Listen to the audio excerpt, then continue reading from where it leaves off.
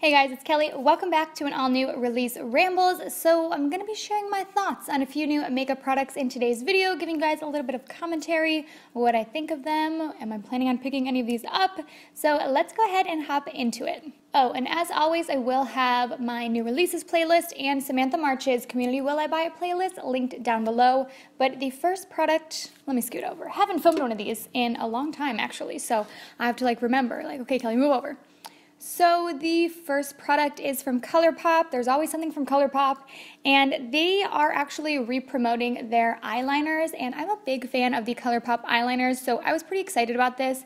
It appears that they have a few new shades available, and they are being repackaged, but with the re-promotion comes a new price tag. They're all at 50 cents more than they used to be feel like ColourPop started off as being a very affordable brand and they're still definitely less than many brands are still in that drugstore realm, but I definitely see their prices creeping up slowly but surely. The, the, prices on their older products are going up, and then the newer products that we're getting are more and more than I would expect for ColourPop. So, but I feel like a colorful liner is so much fun, especially if you're someone that is intimidated by wearing color.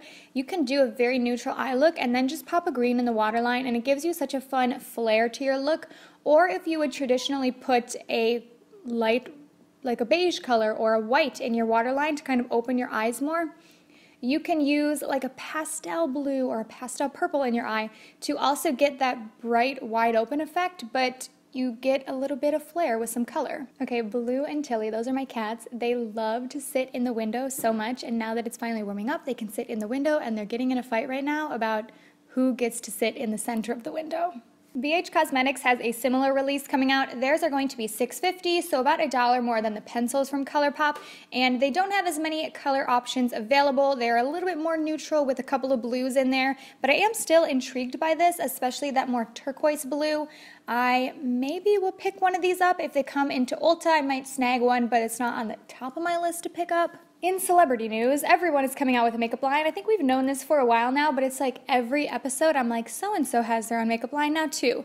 And the next one that we have heard is Bieber Beauty, which is from Hailey Bieber. Also, now that she got married, it's so weird for me to say Hailey Bieber. Hailey Bieber. But Hailey Bieber will also have some competition with Ariana Grande's new makeup line. Now hers is not necessarily confirmed the way that Hailey Bieber's was, but they she has trademarked the phrase "Thank you next," which I mean, she could do a lot with that, so it kind of makes sense that she would. So, according to Trendmood, it sounds like she's more focused on the direction of body products as opposed to makeup and other forms of cosmetics. And I have to say, I love Ariana Grande. I feel like many people do. I know there are quite a few people that, I mean, let's just say she's polarizing. You either love her or you cannot stand her. Personally, I love her.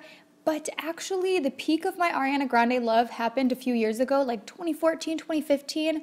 I would probably use the word obsessed to describe my fascination with her. And I'm not as big into Ariana Grande these days, but I think she's so talented and I feel like she really actively promotes strong women and women's rights. So I think that's pretty cool. And I'm interested to see where both of these makeup lines lead. I think it would be challenging for me to tell you whether or not I would buy anything from the lines right now because we don't know what they're going to release, what the prices look like. So I will have my eye on them.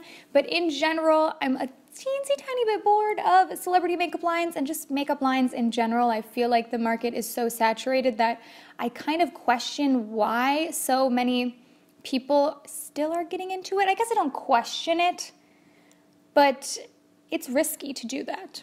It's just a very competitive market these days, you know? Okay, next, Anastasia Beverly Hills is coming out with a body oil, a shimmering body oil. And I feel like this is a little bit ironic because I recently posted my brands that excite me video and one thing I said in that video was everything Anastasia does I'm so intrigued by they're so ahead of the trends and then they do this to me. They come out with body oil like a year late and I'm like Anastasia I just said that you were on top of the trends. Don't make me look like a liar and this is going to retail for $38 and maybe I'm not the right person to ask because I'm just not a body oil person so I can't even fathom spending more than like $15 for a body oil because it's so simple to create your own. You can just scrape off a little bit of your highlighter, mix it in with an oil that you already have or mix it in with some lotion and then rub that on your body and then you made that for free out of things you already have. So It's challenging to justify high price tags for this, and Anastasia kind of surprised me with this because they tend to be slightly more affordable for high end. They're like on the lower end prices of high end. This doesn't really make sense, but I think you guys hopefully know what I'm saying. So I was like 38, this should be 24. Sticking with glow, but other forms of glow, Charlotte Tilbury has, okay, so the window, so they were in the window over here, and now there's a window over here, and the window, this window is barely open. It's like just a little crack. And I just sat here for so long watching Tilly like hang down, trying to like shift herself into that little crack. And she's like laying in there with the window basically touching her back. So let me go open this for her. Okay, part of me was like, you look so uncomfortable, I should move this. But then after I moved it, she didn't sit up. It's so funny. I'm like, you're a cat, so maybe you liked that. You know how cats just love to be in the smallest space possible? She's probably like, Mom, don't open the window. I want it to be closed on my back. So, Charlotte Tilbury Glowgasm Palette. Um, I don't want to spend too long on this. I'll just say that face palettes in general, I tend to pass over. I don't reach for them often enough to justify having too many in my collection, and I already have a lot of highlighters, but this definitely is pretty, the packaging is beautiful, and I am interested to one day try something from Charlotte Tilbury, but I don't think that this will be it. But what do you guys think? That shimmery pink shade I kind of am into. I used to be so against a shimmery blush, but they're growing on me. What's happening? or like blush toppers even, which I think that would be pretty as. So we'll see. Maybe I'll watch some reviews. Okay, something that I definitely don't need, but I really, really want is the new highlighter from Too Faced. So they have done a whole Clover collection before. Clover is the name of Jerrod Blandino's dog, and this highlighter is so pretty, and at least based on the swatches, it looks like a color that is pretty flexible. It looks like it'll work for quite a few skin tones. And I would be lying if I said I didn't want this for basically just the packaging. Now at the time that I'm filming this, we don't have all the details. It's basically just a sneak peek that has been announced, but I know that in the past with their Clover releases, they have donated a portion of the profits to different animal groups. So hopefully that's what they'll be doing with this one as well. I think it's so stinking adorable and the swatches are stunning. Okay, the next one is something that has been out for a while and I'm so late to the party I debated even talking about it in this video. But as I said, I have not filmed one of these in a while, and I kind of just wanted to chat about this. The Fenty bronzers. These are so beautiful, and this is another thing where the packaging is drawing me in. I'm trying to not really purchase any bronzers right now, even though there's just an influx of bronzers on the market these days, and so many of them are catching my attention.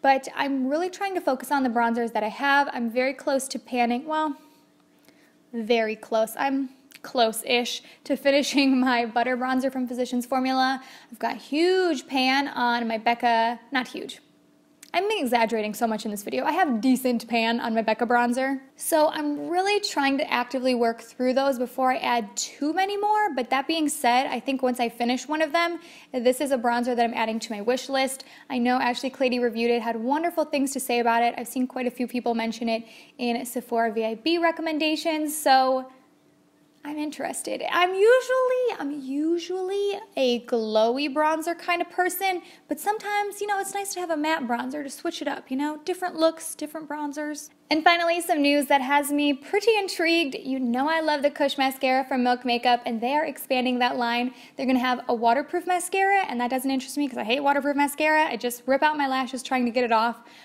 But I am intrigued by their lash primer. So I have to say, I'm always back and forth on lash primers. There's a little part of me that's like, Kelly, it's just a gimmick. Don't waste your time, don't waste your money. But there is another part of me that feels like sometimes they do work and sometimes they do a little something. So most lash primers I would probably just pass over, but I'm like, okay, the Milk Makeup Kush Mascara is already so fantastic that I'm optimistic that the primer will also be amazing.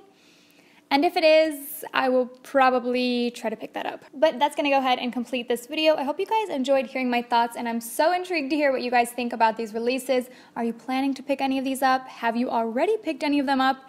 Are you skipping over any of them? Let us know down below. Thank you guys so much for watching and I will see you in my next one. Bye.